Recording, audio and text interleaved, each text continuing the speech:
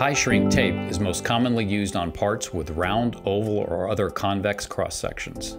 The tape can be used on square or rectangular parts, using pressure intensifiers to round out the shape is a way to even out compaction forces on non-round parts. Shrink tape is not ideal for applying compaction force to parts with concave features. The tape will not be able to contact the part surface on the inner radius of concave curves and will bridge or span the feature without applying force where needed. Our line of Hi-Shrink tapes are classified by application cure temperatures.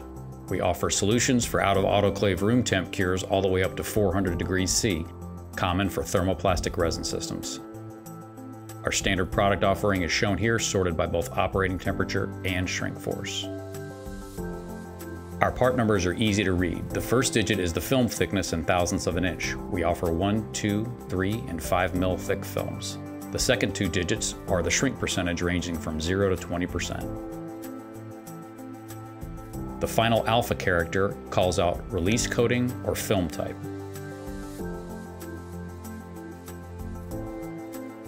Most applications start with 2 mil. It's possible that your application will fall here. You may also determine that 5, 3, or 1 mil films are more optimized to your needs. There are areas of crossover giving you multiple film choices for your application. There are four main factors affecting the shrink force on your part. Shrink percentage. Dunstone offers 0 up to 20% shrinkage in the machine direction in most of our films. Taping tension. Taping tension is the force applied by pulling on the tape during application.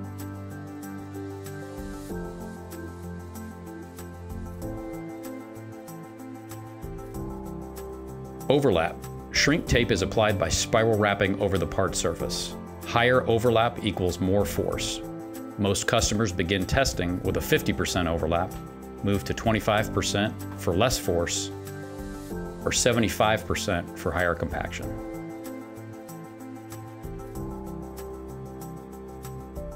Thickness. Thicker films offer higher shrink forces. This chart illustrates how shrink force increases with film thickness for products with a 20% shrink factor.